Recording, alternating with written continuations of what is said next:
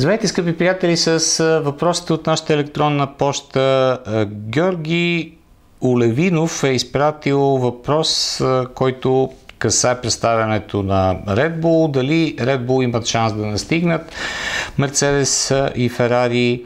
Дали ще могат и да ги изпреварят в по-късен етап от сезона?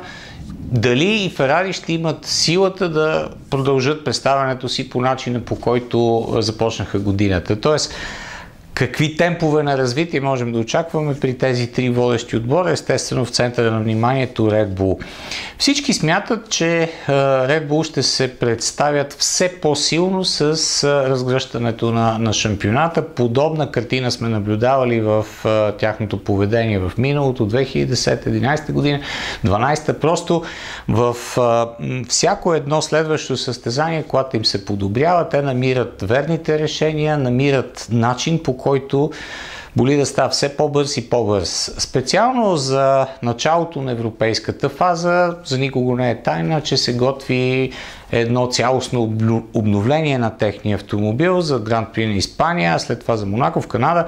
Ще има също страшно много подобрения и се очаква автомобила им да бъде наистина достатъчно бърз и конкурентно способен на Ферари и на Мерцедес. Като при Red Bull, мисля, че по време на самите състезания стана дума за това, проблемите тази година проистекоха от няколко фактора и сумарното въздействие на тези няколко фактора бе доста негативно. На първо място имаше за първи път от години несъответствие между проекта между данните от аеродинамичния тунел, CFD, изследванията и реалните резултати от работата на отделни компоненти, особено в аеродинамиката на пистата. Нещо, което се случва, случвало се при Ферари, при Макларен, сега става с Red Bull през тази зима. Втория компонент е факта, че окачването трябваше да бъде променено и автомобила няма начин по който да взема онази позиция във въздуха, която бе желана от Едриан Нюи, около която е конструирана колата и след наложените промени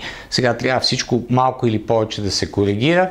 И третия фактор, който има също важно значение е, че заради проблемите с издръжливостта, още в хода на предсезонната подготовка, а и в а, а, така първите състезания Рено предпочетоха да използват старата мотор-генераторна група, която е 5 кг по-тежка от тази, която е планирана за тази година. Плюс това охладителната система е с още 1 кг допълнително тегло и тези 6 кг в малка или в по-голяма степен също каха негативно влияние върху а, така, подготовката на колата. И като цяло автомобила бе далеч от а, очакваното ниво и като представяне в а, така максимална скорост и като притискане към пистата. Така че тези компоненти сега а, трябва да бъдат а, в една по-добра хармония и Red Bull да, да бъде така силен, както беше през миналата година.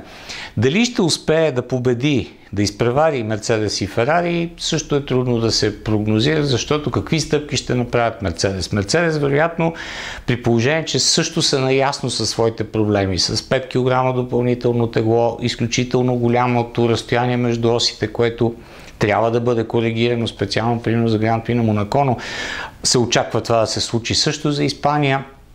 Ферари също трябва да направят стъпки напред, защото са наясно, че и Red Bull и Mercedes ще, ще се развиват в позитивна посока в следващите месеци. И от тук насетне е много интересно кой наистина ще успее най-добре да се развие. В миналото Red Bull са печелили тази битка. А, сега Ферари започват от една много по-добра база, Мерцедес започват от една отлична база и дори да темповете им на на развитие да не са тези, които ще има при, при Red Bull. А, трудно е да се каже със сигурност, че Red Bull ще успее да ги изпревари, примерно както стана в, в тези сезони, в които а, Red Bull доминираше. При всички случаи стъпките напред ще са много големи, защото потенциала на а, новите аеродинамични идеи е много голям. Просто трябва да се развива и при по-малките отбори дори ще наблюдаваме много бързо развитие, много по-висока скорост в края на шампионата, отколкото традиционно, примерно, се подобрява темпото на една кола 2 секунди, 2 секунди и половина от първото до последното състезание, така ми каза Пади Лоу миналата година в Бахрейн. Това е традиционния начин, но сега ще има много по-големи стъпки, така че тази битка ще е много интересна, ще я следим в всеки един от бровете на списанието, защото тази година там правим една специална рубрика с помощта на Кастрол. Представяме развитието на колите старт след старт. Благодаря за, за вниманието. Ще бъдем отново заедно скоро.